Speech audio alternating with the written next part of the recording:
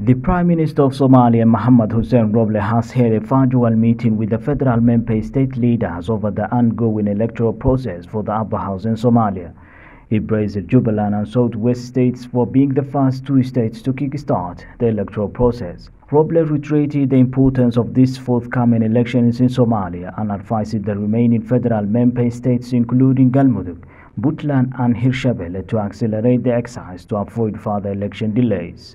Meanwhile, the federal member state leaders also thanked the Prime Minister for his decision regarding the Electoral Committee from Somaliland representative. On May 27, Somalia Prime Minister Mohamed Hussein Roble alongside leaders from the regional states agreed to meet regularly to hold free and fair polls in the country.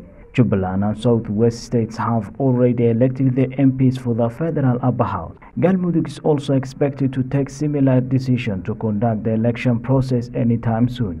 Somalia will be in election days within these coming months after the Electoral Commission released a new election timeline. Hamza Dabjerin, CBA.